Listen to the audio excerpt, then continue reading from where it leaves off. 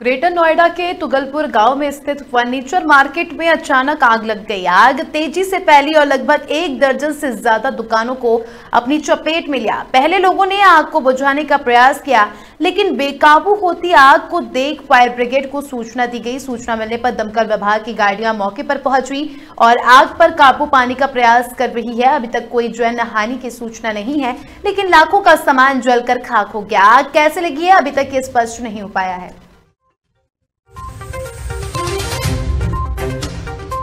जैसा जैसा भीड़ जुड़ी है हमने देखा एक एक दुकान जो खाली होती जा रही है, जिस- जिसमें आग लग रही है उसके बराबर में। लेकिन यहाँ का ये जो यहाँ का, जो पुलिस ये स्टेशन है, ये काबू कर रहे हैं, लेकिन ये जो ये खड़ी हुई है गाड़ी, देखो इधर। ये गाड़ी खड़ी हुई है तुम्हारी फायर स्टेशन वाली।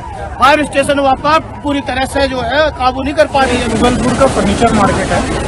नौ बज के पैंतालीस मिनट पे फायर यूनिट को सूचना मिली कि आग लगी है। त्वरित कार्रवाई करते हुए हम लोग यहाँ पे पहुँचे हैं और चार गाड़ियाँ मौके पे मौजूद हैं। लगभग आग काबू का गया। पाँच से छह दुकानों में आग लगी थी और इसमें से जनानी की सूचना दी।